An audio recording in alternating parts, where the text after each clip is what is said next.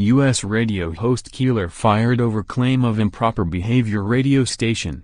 Los Angeles, Reuters, veteran U.S. radio show host Garrison Keillor has been fired over an accusation of inappropriate behavior, Minnesota Public Radio said on Wednesday. Minnesota Public Radio, MPR, is terminating its contracts with Garrison Keillor and his private media companies after recently learning of allegations of his inappropriate behavior with an individual who worked with him, the organization said in a statement. It gave no details. David O'Neill, a representative of Keillor did not immediately respond to a request for comment. Reuters was not able to independently confirm the allegations. Reporting by Jill Serjeant, editing by Toni Reinhold.